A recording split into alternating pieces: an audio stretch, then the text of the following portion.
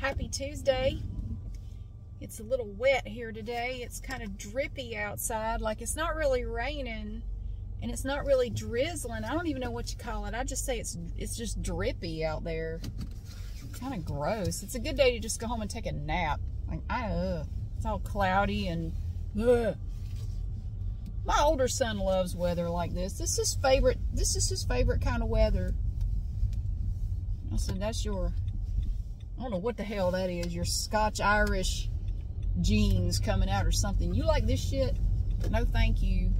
No, I want summertime to come back. I hate cold weather. I, I hate it. Hate it. But here we are. I just went and dropped off the presents for the sixth angel. I kind I'm trying to dodge the little showers that keep popping up. Um, like it'll it'll rain and then it'll stop for a little bit and then it'll rain.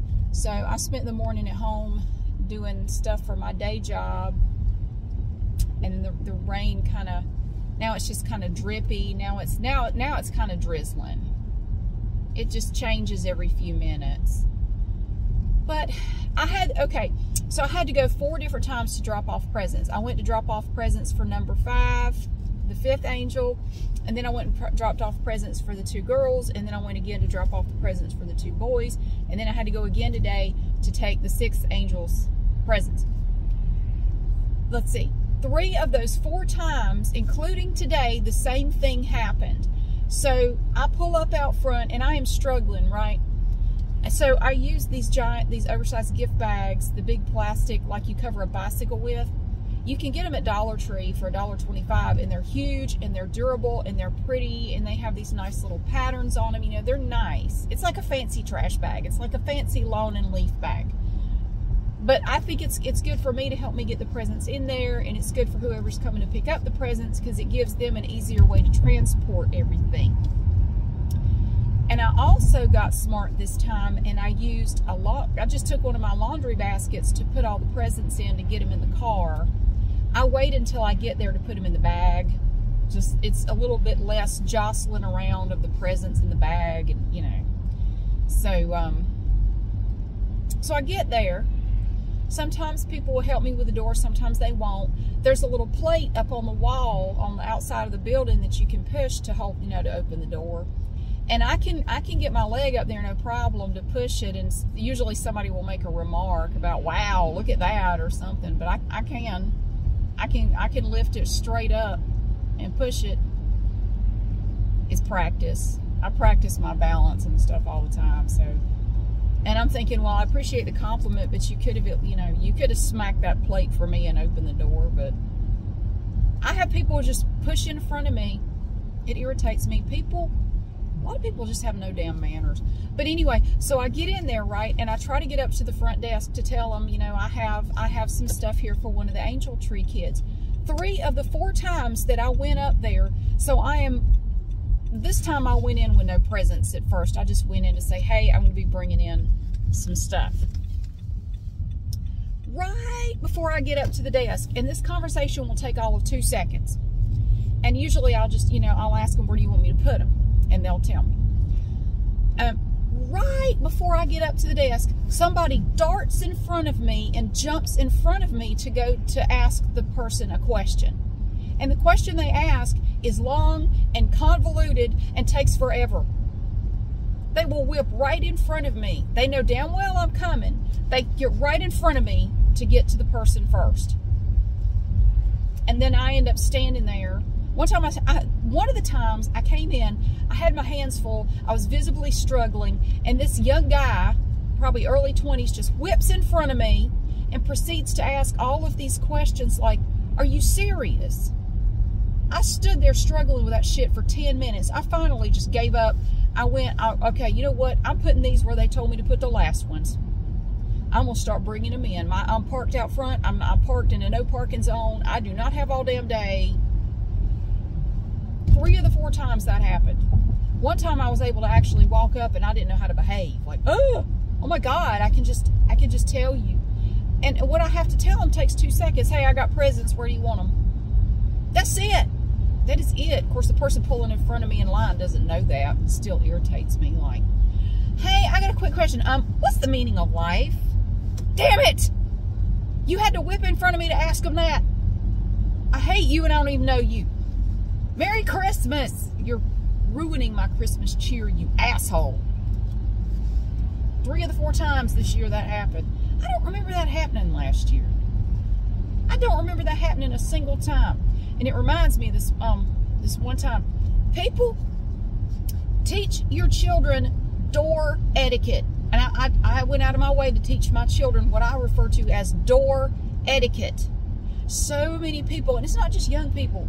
I see grown ass people who have no door etiquette. What is door etiquette? Okay, and this is what I teach my kids, and I want y'all to listen to this, and I want you to do it. You young people, if nobody told you this, you were not raised right. No offense to your parents or guardians, but you should have been taught this. No matter who you are, I don't care. Man, woman, old, young, don't care. If you, okay, so you're approaching double doors, and I run into this all the time, it irritates the hell out of me. Keep right. Pretend you're driving a car. Go in through the door on the right. When you exit the building, go through the door on the right. Every damn body is trying to go through the wrong freaking door, and it irritates me. It's like everybody, it's just chaos. If everybody will just keep right, the traffic will flow through there just fine. But no, no, I got to go through the door on the left because I'm special. I came through that door. I'm going to go back out that door. No, dumbass. Treat it like a highway. Keep right. It, it just galls me. It just chaps my ass, especially if I have my hands full and I'm trying to get that damn door open. That's another thing. Don't care who you are. I don't care whether your shit stinks or not. I don't care how rich you are. I don't care how famous you are. If you are walking up to a door and you see someone struggling, you can see that they have their hands full. I don't care who they are. Hold the door for them. Take a half a second out of your precious day and hold the door open for that person. Now, they may or may not say thank you. A lot of people don't. Do it though because it's the right thing. Just just do it. Sometimes it's okay to do things just because it's the right thing to do, not because you're going to get something out of it, but just because it's the decent thing to do. Hold the damn door open for them. My God. And if you have two sets of doors and you can, and you know, get the other door for them too. I do it all the time. Hold the door open for them. You don't have to make a big show of it. If there's somebody coming behind you, pause for a second and hold the door so it doesn't slam in their face. It's it's simple. I mean, it is so simple. It it takes no effort, takes no thought. It's just a habit that you get into. And I am ashamed at the number of parents who did not bother to teach their children this basic stuff. I don't know at what point everything fell apart. You know, in generations past, parents took the time to teach their children manners. There are no manners anymore. When did it fall apart? When did people stop doing that? I was taught my, my, manners, and I have done my best to teach my children manners and how to behave, how to conduct yourself in different situations. You know, just because you're a child doesn't mean that you get to act like a dick. That's how I feel. I don't like that excuse. Oh, they're young. Mm-mm. No. At what age is that no longer acceptable? Well, if you don't teach them before that age, they're not going to just start magically doing the right thing at that age. You have to teach them from the time they're small and lead by example because you have to you have to behave yourself too. If you don't behave yourself, they're to they're to they're to watch what you do more than they're to listen to what you say. I hold the door for people. If I see someone struggling with something and I can help them, I help them. You know, I I, I don't do it because I want anything. I do it because I just feel like it's the right thing to do. It reminds me of this one time. I was mad as hell about it now, and I still, it still pisses me off to think about it. My younger son, when he was about 10 years old, he was getting ready to get braces. And they wanted, he had a baby tooth that had not come out yet. And uh, the orthodontist wanted to get it pulled because it wasn't showing any signs of like ever coming out.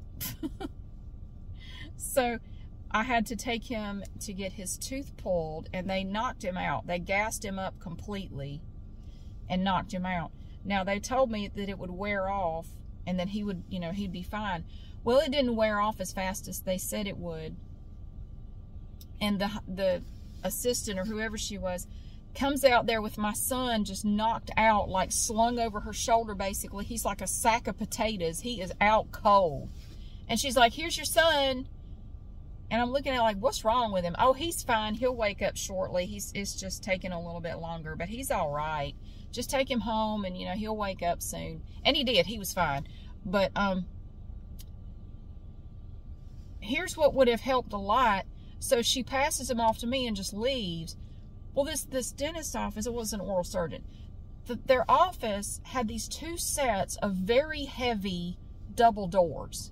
Like so, even if you don't have your hands full, it is hard to push those doors open. So I have. Have you ever held like somebody who's out cold like that, just dead weight? They feel about three times heavier than they do normally. It is. It is like holding a big sack of potatoes. And he he is he is a tall boy he's not, you know, he's really skinny, so he doesn't weigh a lot, but he's just long, you know, and I'm like trying to, I am struggling. I got on a coat, I got my purse over my shoulder, and I have this kid, like, and I'm holding him in a bear hug, trying to get him out the door. It would have been really nice if somebody, if she had just taken a second to hold the door open for me. It would have helped a lot. But she was gone, man. She passed him off, and she was, I turned around, she was gone. There was just nobody. So I am waddling with my knocked out 10 year old like this with a mouthful of cotton. Him, not me. And I'm waddling to the door and I managed to uh, get that first door open and I'm, I'm trying to, you know, and I'm thinking like, how the hell am I going to get him in the car? How am I going to get the car unlocked? I didn't have the automatic clicky thing on this car. Like, how in the hell am I going to get him in the car? Damn it. That it would have been really great if this the, the lady who brought him out had just taken like a minute of her day to help me with this. I guess she didn't think about it. Like, I'm there by myself with my kid. But I, I get that first door open. Mm, and I see this teenage boy coming, walking up the sidewalk, headed toward the building. I thought, oh, thank God. Oh, thank God. So I just barely get that door open. And here he comes through the first door. And he just walks on in like I was holding the damn door open for him. I said, Oh, you're welcome. I'm so glad I could help you out with that. And he just looked at me like, What the fuck is your problem? And he just rolled his eyes and walked on like, What the hell is wrong with people? I mean, I realize my problem is not your problem. But if you see another human being struggling and there's something you can do to, you know, take two seconds out of your day and make it a little easier for them, why would you not do it? I just, I don't understand. Why would it not even occur to you to do it? You know why? Because you were not raised right. And I'm here to help. I'm here to help you. Pay attention to what's going on around you. You need to do that anyway. That's another thing I notice a lot of people don't have is situational awareness. People do not pay attention to anything. They are so oblivious to everyone. Pay attention to what's going on around you. And if you can help somebody, you know, hold a door or do something for them, you know, do it. Just please, you know, come on it would make the world such it would be a much better world to live in if we would all just do that. But a shocking number of people don't. It's it's it's, it's a, a lack of situational awareness. It's self-absorption feeling like the world revolves around you. It's just it's it's a combination of things and it just it's depressing.